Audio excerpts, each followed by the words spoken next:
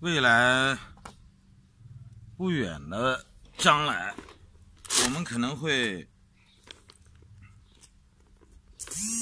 听到台湾问题成为一个新的热点。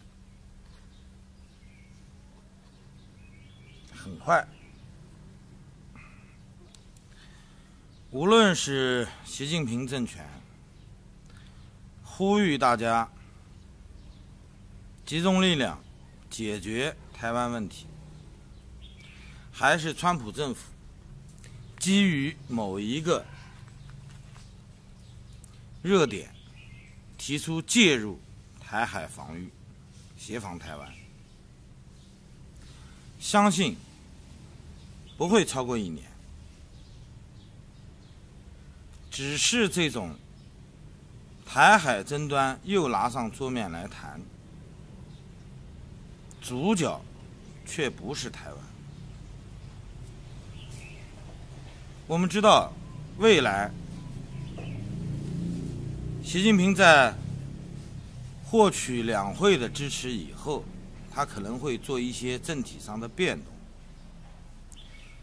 为了凝聚战斗力，让全民有一个短期的目标，他可能会提出。要尽快的解决国土分裂的这么一个现状。我们知道，从习近平当政以后，国民经济开始走向了国进民退。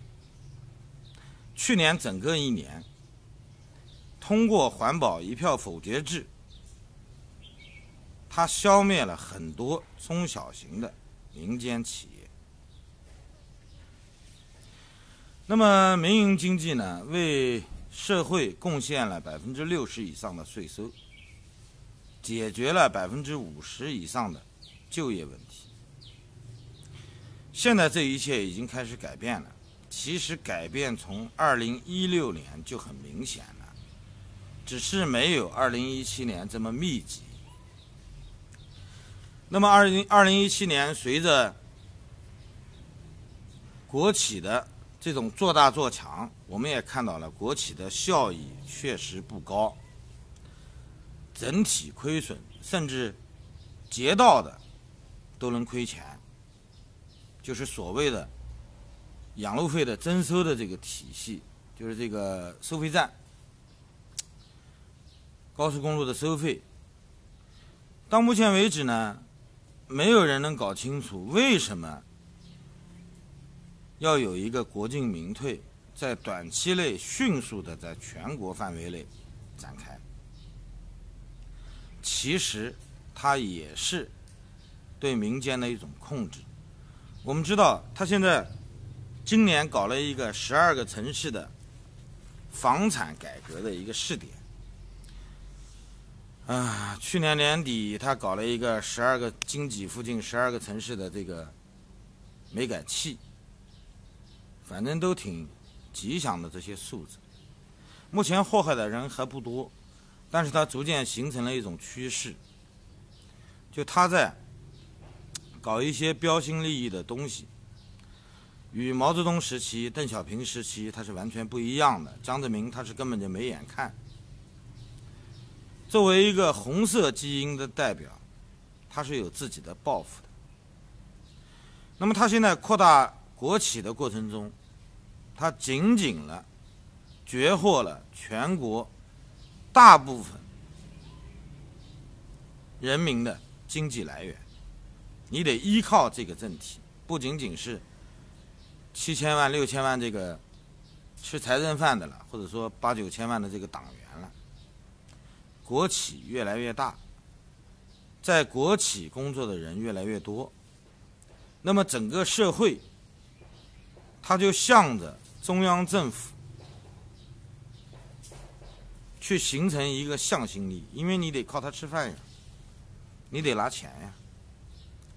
你要是再说一些反对的话，可能你就保不住饭碗。嘴上你是爽快了一下，老婆孩子怎么养呢？这都是问题。那么，国际社会无论是对海航这种清查，限制了中国往外往国外转移资金的这么一个渠道，还是在各个层层面上去进行一个封堵，包括美国最近提出来的清查中国留学生在国外是不是有一些意识形态的输出。这一步步都逼向了习近平政府收回已经被斩断或者是受伤的对外扩张的触角。它这个扩张是隐性的。最近一段时间，它已经在开始往回收了。收到最后，他要想形成暂时经济，他要让人民。过上文革之前的这种生活，那么他就有一个需要追求的短期目标。这个目标我们可以显而易见的看到，极有可能是台海，因为他不会选择中印边境，不会选择朝鲜问题，更不会选择中越之间的问题。那么，他唯一的选项对他来说最便宜的、最廉价的一个选选项，就是台海。他并不是要打，他只是要喊口号，他要依靠这个东西来凝聚全民的意识，因为这个东西它在整个中国社会中，它是可以聚焦的，这是一个合理的，几十年来通过这个教育也好、引导也好。全民意识中，它有一个国家大一统的这么一个观念，这个全民基础是有的，所以他花不了多大力气。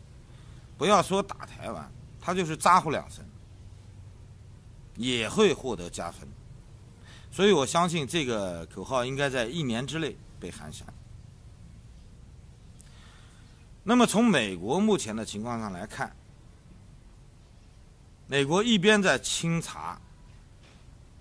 中国官员往国外倒运的这些黑钱，一边在清查着中国留学生、外派人员，甚至一些基金会聘用的外籍人员所收集的经济情报，与生产、与经济密切相关的一些收集情报的一些途径。将被扩大化，可能会影响到整个海外的华人圈，大多数国家都会跟风。我们知道跳出来的已经有好几个了，澳洲已经开始了。这个行动呢，它会慢慢的演变成麦卡锡时代，这种可能性在逐渐增大。而且现实的动作已经开始，这些这一系列的东西，它中美双方的这种交交碰，它往往反映出来最终的一个点，恰恰就是在台海上。因为现在打贸易战，双方都没有底气。习近平政权从接任以后，就在大力的削减。对外贸易的这个依赖度，连续两年降低到百分之二十左右。它从一个最高点降下来，从百分之七十，二零零四年，那么降到百分之五十，最终降到百分之二十。这是有意识的，不纯粹是国际社会的挤压，也有中共自己的选择部分。那么完了以后，台海被重新设定为一个砝码，并不是国际社会专门来对付中共的，而是一个大的趋势。因为制造业大国已经不再是中国了，从中国转移出去的一些制造业。在东南亚已经逐渐成型，在印度也在迅速的被打开，打开这种基础，打下这种基础，高端制造业正在回流美国。那么我们现在知道，中国作为世界性的制造大国，或者说加工组装的这种大国，它这个时代已经一去不复返了。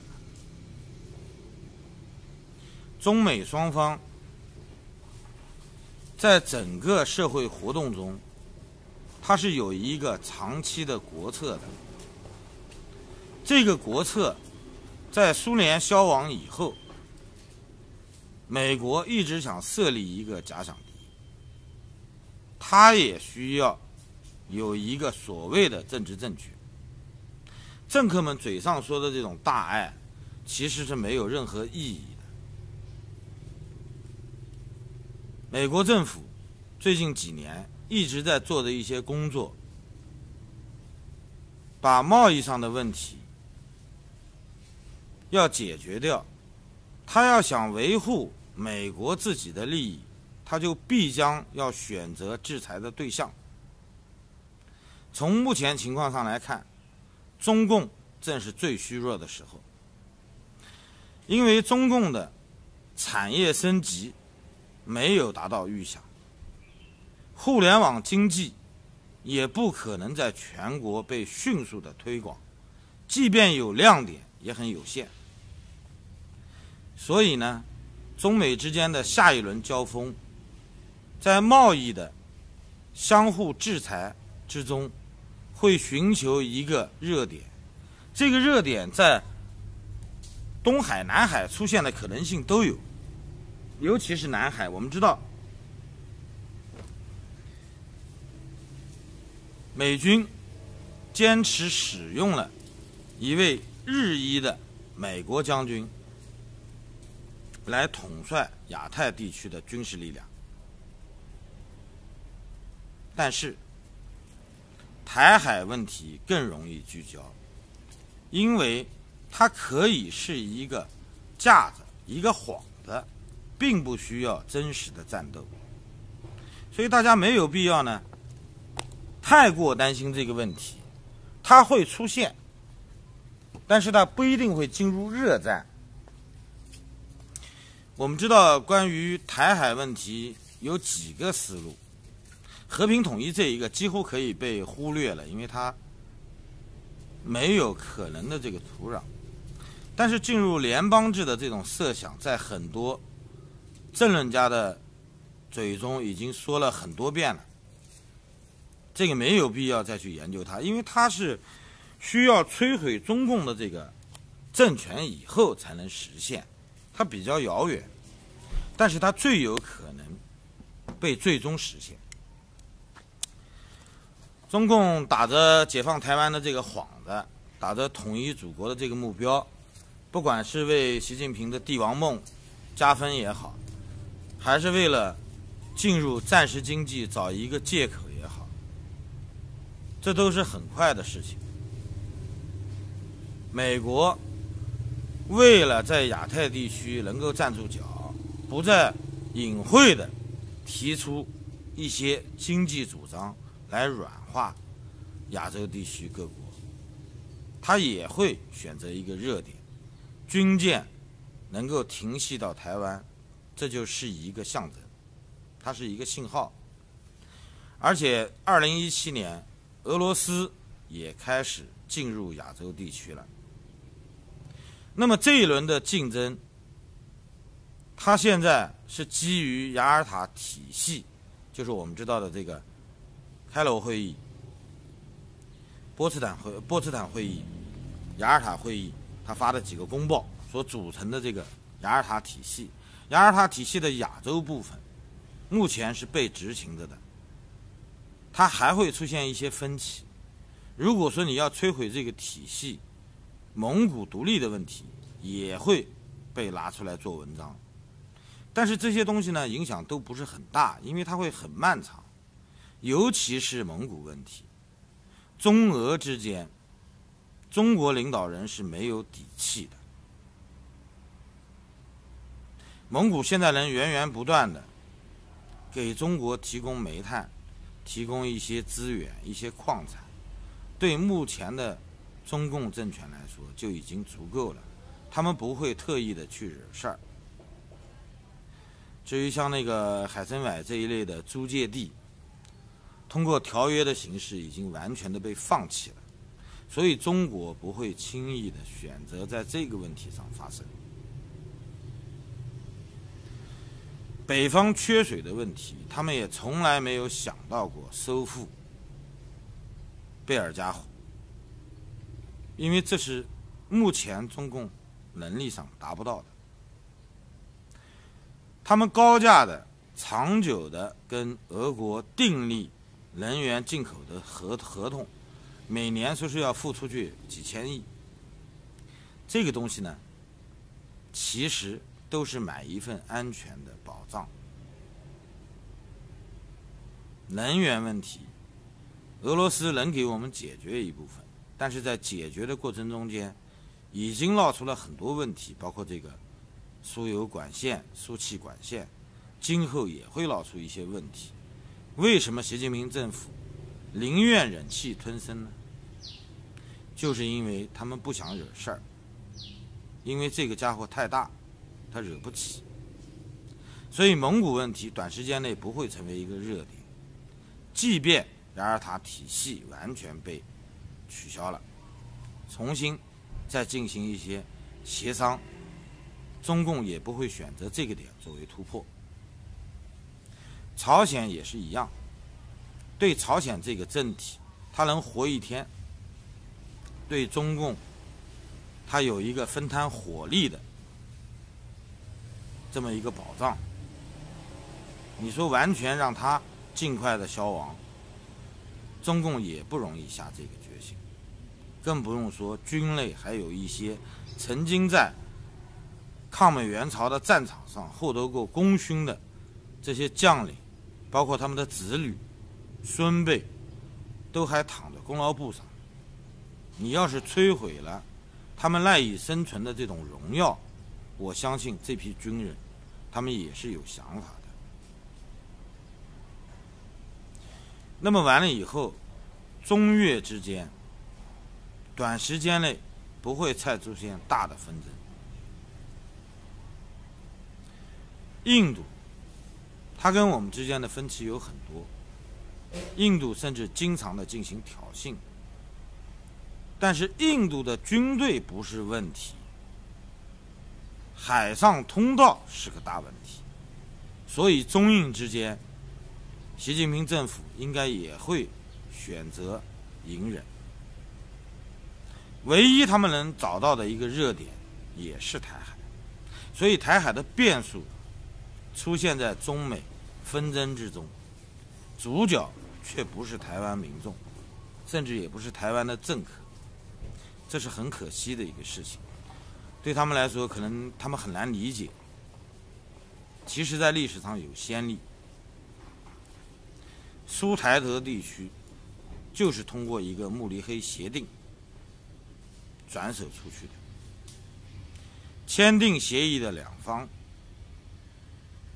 协商协议的两方是德国和英国为首的一些国家作为代表，最终请捷克进去签字的时候，谈判已经结束了。台湾目前就处在这么一个位置上，他们的未来可能会有一些波折，而且主导权也绝对不会在他们自己手上。现实就是这么残酷，不要把自己看得太自大。两千多万人也好，你的经济、你的民主，甚至你的地理位置都不重要。在博弈中，国际社会的博弈中，它始终是一个棋子。这就是台湾问题最可笑的地方。你可以说一些好听的话。来哄哄他们，帮他们满足一下虚荣心。大过年的，我也不想说实话，但是没办法。台湾问题未来不一定会进入热战，但是它一定会被中美之间把它提升到一个战争的高度，双方都在获取自己的利益。中共是想借着收复失地的这么一个战争的宣传，来凝凝聚民心。美国是想借以重返亚洲。双方借力的这个点就是台湾，这就是今年大过年的我为什么要跟大家聊聊台湾问题的原因。因为我是这样想的，我相信跟我一样想法的人不一定很多，但是你们可以静下心来想一想。有假期，大家喝喝酒聊聊天，我觉得想一想有可能发生的事情，并不是一个坏事。